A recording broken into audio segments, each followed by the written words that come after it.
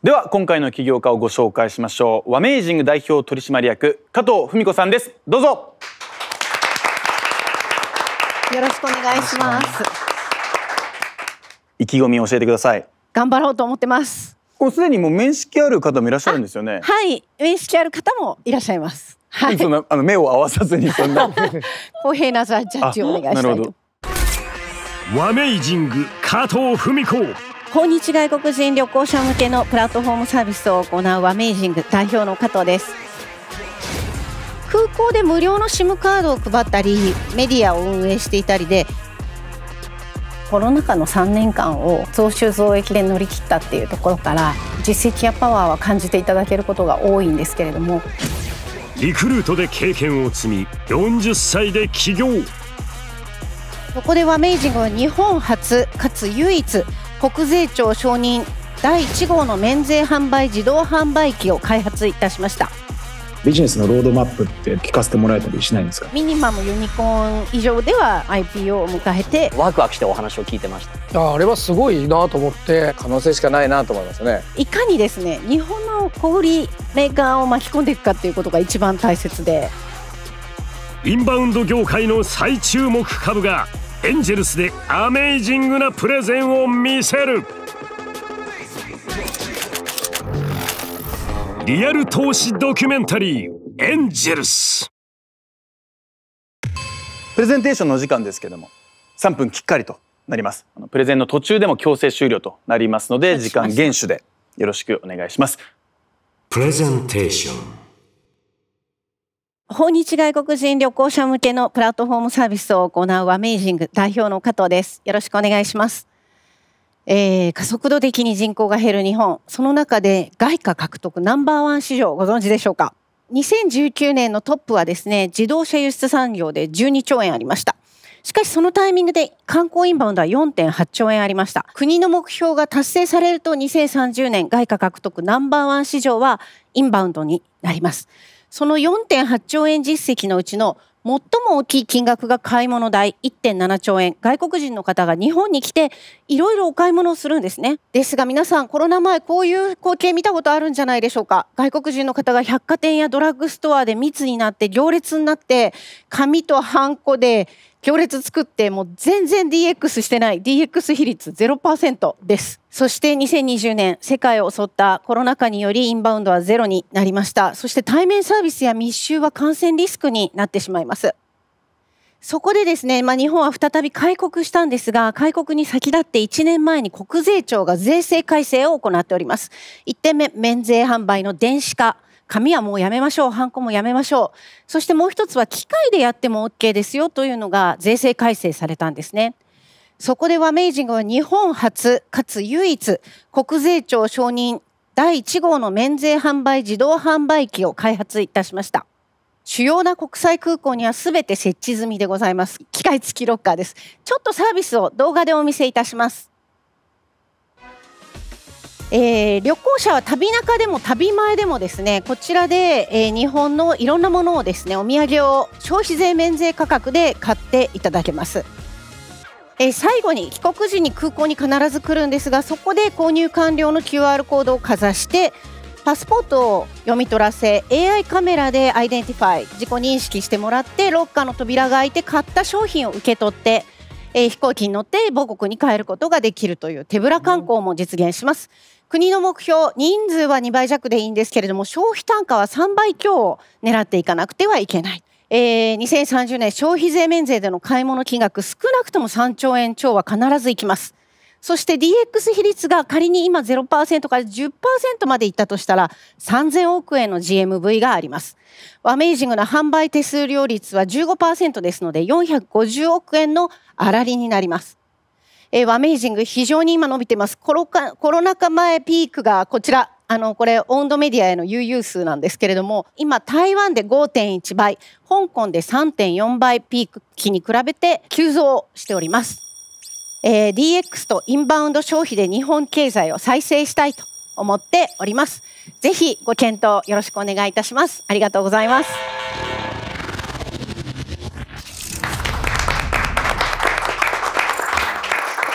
3分ぴったりでした。はい。First Judge まずはプレゼンの良し悪しを判定するファーストジャッジ脱落ありの新システムを導入。本田圭佑以外の投資家がホワイトブラックの2色から判定を行い万が一全員ブラックの場合はディスカッションを続けるかを本田圭佑がジャッジするというルール。カードをお上げください。どうぞ。お二人ともホワイトです。ありがとうございます。興味持っていただいて本当に嬉しかったです。皆さんの関心をまず持ってもらわないとそこにいついくら説明しても入っていきませんので。ああれはすごいなと思って。ありがとうございます、まあ、すごいインバウンド大変ねな環境でややってこられた中でああんなことを開発されてて。2年間時間だけはあったので。そうやってたんだと思って 結構僕はびっくりしましたはいありがとうございます、いやまずはあの国税庁認可ナンバーワン。何でもナンバーワンってむちゃくちゃ可能性ありますよね。これからたくさん敵が出てきたとしても。昨日僕ロスから帰ってきたんですけどもうあの電子免税のアナログなこと紙で出た方が早かったですよ。で逆を考えたらスマートで素晴らしいという直感が働きました。ありがとうございます。素晴らしい。本田さん、まあ、投資家をねかなり興味津々という感じでしたけども、どうですか？いや僕もあのちょっとわからないことが多すぎて質問したいんでぜひ前に進めたいなと思って。秋山さんもどうでしょう？あの人だと思ってるんですけども加藤さんパワフルなんで、うん。もう一つの新ルール起業家と投資家のディスカッションに第三者視点でうねりを起こす。Third Eye 行くぜこの手で掴む。一生は一度二度とない。チャンス。元ラッパーの経歴を持ちスマホ充電レンタルチャージスポットで上場を果たしたインフォリッチ CEO 秋山博信。そこでですね日本をしっかりこうまさに入り口出口を抑えれてるっていう、まあ、ここからあとはそのコロナが明けてきたタイミングがもうめちゃくちゃ追い風なのは実はオフラインビジネスとしては間違いないのであのワクワクしてお話を聞いてました。コロナ禍で苦境に陥る中開発されたプロダクトその進化がここから問われる。ディスカッション。ちょっとあのサービスのイメージは分かんないんですけどこれまずその誰が商品をあの中に入れてくれるんですか？えっと全国の路地を今佐川急便さんが担ってくださっていましてそこにメーカーさんがあの商品を送ってくるので3割が旅中7割が、えー、旅前に注文されていますあ面白いですね。ありがとうございます。まだ唯一です。国税庁の認可が必要なので。化粧品とかですよね基本的には、うん、多分ね行く前に買うってことになるともう狙い撃ちしてこういうものが欲しいって持ってるってことですよね。おっしゃる通りです。ね、結構狙い撃ちで菓子食品化粧品、うん、日用品酒類お酒医薬品ここがすごく大きなマーケットでこちらはですね観光庁の訪日外国人消費動向調査から例えば中国だと化粧品が1位ですね。台湾ですとお菓子が1位になります。はい。これやっぱりリピーターの方がほとんど？台湾と香港は全ボリュームに対して日本リピーターが9割を占めているので2019年時点ですね。中国は5割リピーターなのでで中国は14億人いますので、まだまだ初回訪問者が増えてくる、うん、そうするとこのサービスは中華圏向けサービスとも言えますよね。あおっしゃる通りです。やっぱ買い物消費に占める割合は7割ですね、ね、欧米の方はこと消費にどちらかというとお金使いますので、うんうん、あのあんまり買わない。ただコロナ禍後ですね。ちょっと円安傾向もあってアメリカの方もだいぶ爆買いしてるのでちょっとこの統計数値変わってくるかもしれませんがコロナ前はこういう実績値でした。買ってもらわないといけない。だからそのサイトにはい、最初流入してもらわないといけないわけですよね。2つの方向性があると思ってて自分たちでマーケットを作るって考え方とインフラとして提供していくだから化粧品会社とかが結局は最後やっぱ持って帰りたくないので最後ここで受け取るみたいな形も両方あるなと思った時に来る前からマーケティングしなきゃいけないってなると結構ハードルあるなと思っていてその辺どう考えてらっしゃいます？2017年2月にサービス創業サービススタートしたベンチャーでして買い物は新サービスなんですがそれ以外は今までやってたんですね。空港で無料の SIM カードを配ったりユニークユーザー数もかなり多くなってきているメディアを運営していたりで旅前のリーチは得意ではあります。今おっしゃっていただいたことって要するにモール型なのか、うん、えー、まあ、直販型なのかっていうことだと思うんですけれども、あの今は直販型のみでやっておりますが今後ですね大手百貨店さんですとか大手ドラッグストアさんですとか、まあ、そういったところと連携の契約が進んでおりますのでそういったところと連携してロッカーを共同利用するというやり方もあのこの春からおそらく登場していきます。ここでサードアイインフォリッチ秋山が自身のルーツでもある香港人の視点で切り込む。オフラインのプライムロケーションとあのプライムパートナーをもうすでに抑えられてることだと思ってるんですね。でやっぱりオフラインがあるっていうことはめちゃくちゃ大きくて SIM も変えるそして、えっと、あの受け取りもできる場所さえあればあのトレンドに合わせてまたすぐにこう変更していけるだけの場所があるっていうあの強みが魅力だなっていうふうに思いました。はい、僕からいいですか？今後5年10年のそのなんかビジネスのロードマップってなんかざっくりでも聞かせてもらえたりしないんですか？なんかスピード感でどれぐらいのビジネスにしたいとかっていうロードマップ、はい、当然もう外部資金調達も過去にしておりますのであの IPO を一つのマイルストーンとして、えー、やっていく予定ですがオンライントラベルエージェントかなり流通総額宿泊とかアクティビティとか交通チケットも売ってるので100億円ぐらいの、えーと、流通総額を目指しております。でコロナ禍で実は行政系の受託事業を多くやってたので、コロナ禍中はですね10億円以上それで売り上げを立てております。2期後にはですね黒字化してえー、ミニマムユニコーン以上ではあの IPO を迎えて、うん、まあ、そこからもですね訪日外国人旅行者のバーティカルプラットフォームとして、えー、と成長させていきたいなというふうに思っています。ビジネスモデルってどんな感じなんでしたっけ？訪日に特化した、えっと、このオンライントラベルエージェントですね。宿泊流通総額、買い物流通総額、それぞれ10%から15%程度を手数料収入としていただくというようなモデルになっています。今、売上ってないと思っておいていいんですかね？どれぐらいな感じなんですか実は、えっ、ー、と、今期ですでにかなり、えっ、ー、と、2桁億若干かけるぐらいです。なぜなら行政の受託をかなりやってまして、はい、あのコロナ禍で人をキープするためにですね、うん、社員が今180人弱おりますので、うん、会員数とかなんかこう持ってるすでに ID みたいなのってどれくらいあるんですか？海外からやってくる外国人旅行者の数で12月時点で37.6万人で今41.3万人ですね。はい。かなりのスピードで増えてはいます。どうやってこれを皆さん知ることになるんでしょうね。この無料の SIM カードはかなり口コミ効果が強くてですね、うん、勝手に海外のメディアとか台湾のメディアとかはかなり喧伝してくれて特に広告をしてないんですが20万枚ぐらいすでに配っています。掲載してるアクティビティとか宿泊施設がどんどん増えているのでえそこから SEO 経由で流入してくるっていうオーガニックの人たちがほとんどですね、うん、半々ぐらいです次々と投げかけられる質問をさも用意していたかのごとく返す加藤。するとここで。プレゼンテーションが素晴らしかったのもありますけどね。急に感覚的な話ですいませんけど。加藤さんがね成功する顔されてる。大事ですね。そそこかな？なんか日本人がなかなか気づかない観点でなおかつ一番ファーストサービス、うん、可能性可能性しかないなと思いますね。今んとこなんか嫌な質問何にも出てこない。チケットサイズ3000万円からあのぜひご出資をいただければ嬉しいです。見事な受け答えで可能性しかないとまで言わしめたワメイジング加藤のプレゼン。出資希望ゴールドカードに期待がかかる。ファイナルジャッジ。出資希望はゴールド興味ありはシルバーそして興味なしはブラックのカードを上げる。出資か否か決断の時。お津田さんゴールド山崎さんシルバーゴールドが出ました。そして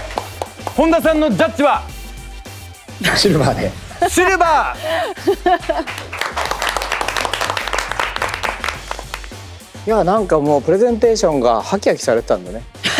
ありがとうございます。あんまり僕中身関係ないんですよね。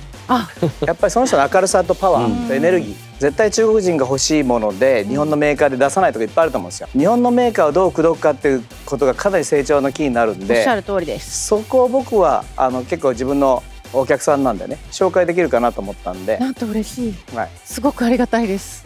自分が貢献できることがあるものについて関心がありますね。中国の人がすごく買いたいようなもので足りないものを補えるんじゃないかと思った福田さん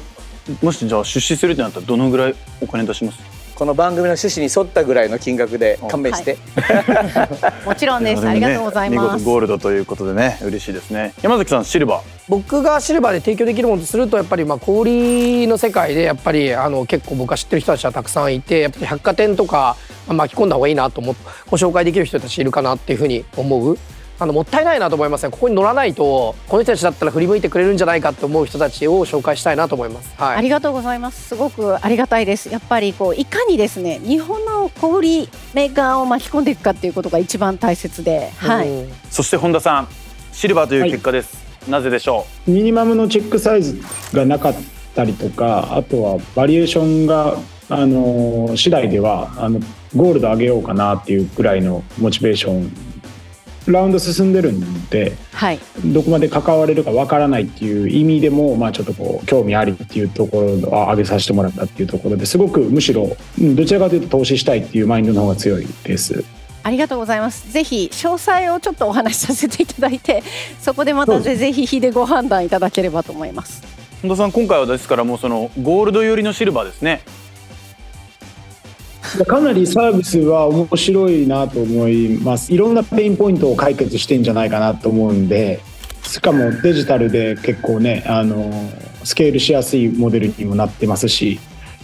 うん、すごいいい面白いなと思います。はい、秋山さんはどんな印象はい、あの僕勝手にサードアイシルバー上げてもいいですか。サードアイシルバー。サードアイシルバー。新しいポジション確立しね。サードアイシルバー。本来ジャッジには参加しない秋山が掟破りのサードアイシルバー。実は40%あの海外のあの雇用をあの加藤さんお持ちで。あそうであの香港にもチームがいて、はい、台湾にもチームがいて、はい、今後現地でやっぱりワード・オブ・マウスがあのあると全然広がり方が違うのと。うんあとやっぱりこのコロナの後っていうのがすごい大きいなって思うんですよね。であのまた香港側の投資家っていう部分で今やっぱりこう日本に来る機運がめちゃくちゃ高まっている、うん、まあもうすでにそうですけれども、うん、そこの中で多分投資意欲もあの香港側の、えー、投資家とかもあのいるんじゃないかなと思ってですね勝手にあの香港側セットであのシルバーをあの出させていただきたいなというふうに思いました。ありがとうございます。すごい助かります。香港側セットめちゃくちゃ助かります。急にサードアイシルバーってポジション確立されましたね。ぜひ今回のそのシルバーの皆さんとはネットワーク築いていただいて、はい、福田さんゴールドということでしたから、はい、はい、ありがとうございます。はい、これから期待しております。加藤さんありがとうございました。ありがとうございます。本田さんにもあのゴールド寄りのシルバーということでですね、オンラインなどで話させていただくアポも取れたので、あのまあ結果はわからないですけど。お話ししたいと思います。まあ、弊社はミドルステージである程度トラクションも出てるものですから数字や実績は当然のことここからさらに伸ばしていこうとしたらやっぱり私自身のポテンシャルというところが見られるのは当然のことかなと思います。究極はですね例えば日本が好きになって一時的に日本で働きたいとかまあ、外国からやってくる方々ともともといる日本人たちが協力して豊かな日本にを作るような日本を良くするような、まあ、そういうプラットフォームに、えー、育てたいなと思っています。大きなゴールなのかな、まあ、どこまでも途中なのかもしれないですけどそれに向かっていきたいなと思ってます。次回のエンジェルスはジグザグ中里和義。我々のミッションは世界中のワクワクを当たり前に全ての海外ユーザーがどのサイトに行っても欲しいものが買える世界。きっかけは私の買えなかった原体験です。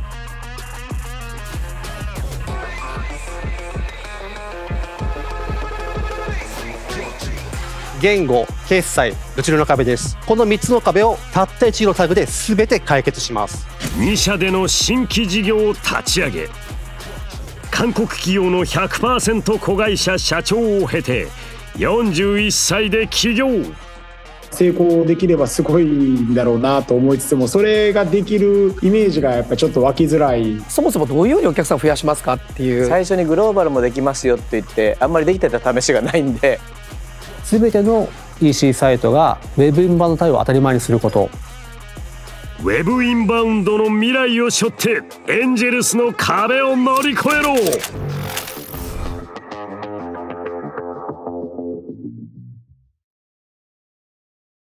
リアル投資ドキュメンタリーエンジェルス。本田圭佑さんと起業家の皆さんとの真剣勝負をぜひお楽しみに。チャンネル登録高評価よろしくお願いします